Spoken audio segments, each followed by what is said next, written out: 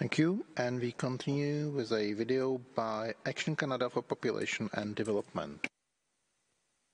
Gracias, presidente. Thank you, President. We make this statement representing the Sexual Rights Initiative and the Akahatá.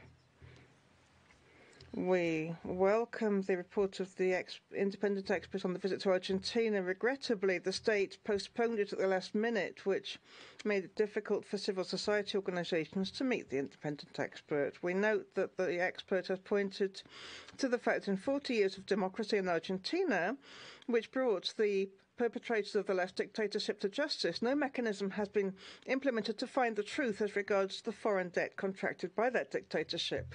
And for at least 30 years, there have been calls in society for an audit of the foreign debt and for the dictatorship's debts not to be paid because they're not legitimate as regards the concern at debt to uh, step up extractive activities and exports. For many years, many civil society organisations have been demanding that this type of activities be ended because of their serious impact on the environment and human rights.